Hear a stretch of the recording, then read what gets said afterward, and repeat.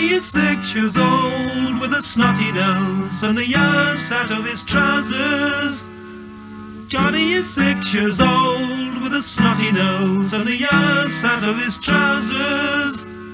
And his mom entertains the poor man, and his dad gets a drop on like he knows he can.